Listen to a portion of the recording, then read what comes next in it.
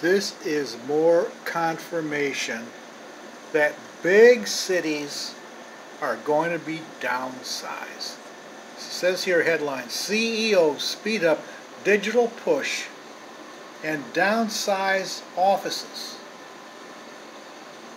This is the work at home phenomenon. What are big cities for? They're for people to come and work in the office buildings. That's the anchor of big cities, just as the uh, big uh, box store in the shopping center was the anchor that brought people to the shopping center. Well, you don't need the restaurants anymore, not as many. You don't need the shows. You don't need the entertainment. Offices are going to go away. They're going to get smaller. Well, people will say, well, no, no, that, that's not going to happen. This is what is going to happen.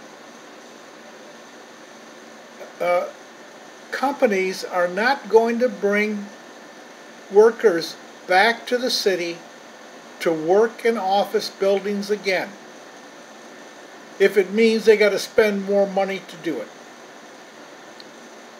If companies can get the same production out of people staying at home, they're going to do it.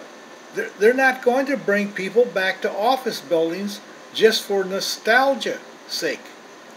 It's got to be a profit for them to do that. And there's no profit from bringing people back from home. Remember, at home, when you flush the toilet, you're a worker and you flush the toilet, it's on your dime. You're not flushing the toilet on the, the, the company's time.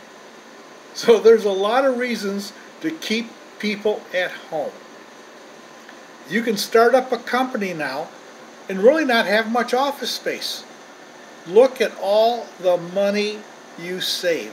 And it makes it easier to start a business because you don't need to bring people downtown into office space that you rent.